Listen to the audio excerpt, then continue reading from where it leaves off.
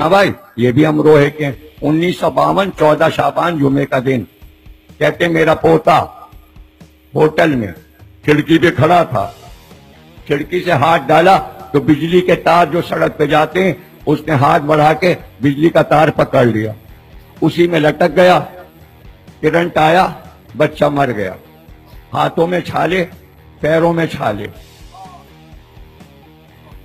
कहने लगे, मैंने किसी तरह तार से उसका हाथ छोड़ाया तो उसकी लाश मेरे हाथ पर थी।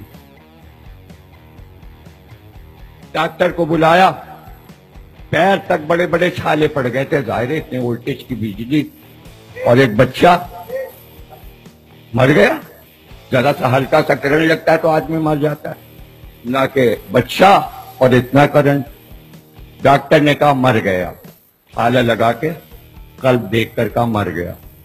वो कहते हैं कि माँ जाके खूब रोई रोज़े पर। ज़िंदा हो गया। उस डॉक्टर गया थोड़ी, डॉक्टर बैठा रहा।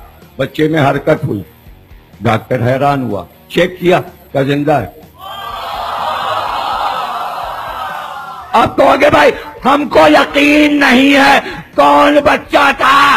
अरे ये वाला बच्चा था।